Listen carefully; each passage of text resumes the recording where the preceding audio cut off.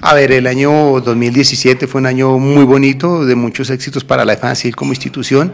Hicimos trabajo en los hogares de San José y La Milagrosa. También estuvimos en el barrio Villas de Manjuí, donde trabajamos con la comunidad. Pudimos llevar una jornada de vacunación, de peluquería, de baile. Eh, vino una ginecóloga donde hizo unos programas de tamizaje y por parte de la ayuda de la Secretaría de Educación hubo vacunación para población menos vulnerable aquí en el municipio. Bueno, quiero que nos cuente un poco acerca de los proyectos que vienen para el 2018 por parte de la Defensa Civil, porque ya entraron los niños a estudiar y sabemos que aquí ellos prestan su servicio social. Sí, la invitación es a todos los muchachos que hacen parte del Servicio Social de Alfabetización, muchachos de entre los grados décimo y undécimo, donde la Defensa Civil abre sus espacios para enseñarles temas de primeros auxilios, gestión de riesgo, gestión ambiental. Somos avalados por el Ministerio de la Defensa Nacional, de la Secretaría de Educación del Departamento, para hacer estos programas, donde ellos cumplen un horario de 80 horas, eh, aquí los días domingos y los días sábados eh, con los instructores de nuestra Junta siempre los ponemos al día y a la vanguardia de conocimientos, donde la juventud de Facatativa puedan tener un espacio donde aprendan de nudos, de primosilios, todo lo que tiene que ver con relacionado para ayudar a la comunidad.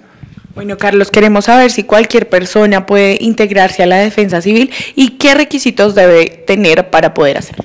A ver, nosotros tenemos de diferentes grupos de voluntarios, pero entre los voluntarios ahorita estamos mostrando muchachos de 14 a 17 años como juveniles y de 18 años hasta los 45 años como, como operativos y de 45 a los 70 años como asesores a nuestra institución de estos muchachos eh, les enseñamos los diferentes temas y los requisitos son muy eh, normales, ¿no? Una hoja de vida que aquí dentro de la institución la damos, ellos cuentan con un seguro de vida que da la institución como por ser voluntarios y hacemos parte de la gestión de riesgo, que es la ley 1523, donde le enseñamos todos los temas dentro del municipio y a nivel nacional. Carlos, la invitación entonces para todos los facatativeños y todas las personas que están interesadas en hacer parte de la defensa civil.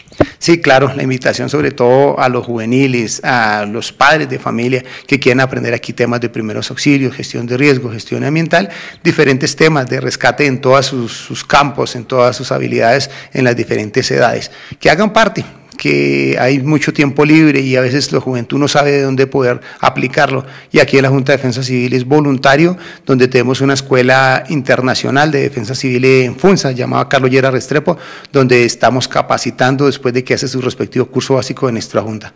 Muchísimas gracias, Carlos. Alison, muchas gracias y una vez más invitarlos a todos los facatativeños a que nos acompañen, a que tengan ese corazón de civismo, a que se puedan saber qué es la defensa civil, qué hacemos y cómo actuamos dentro y fuera de nuestro país.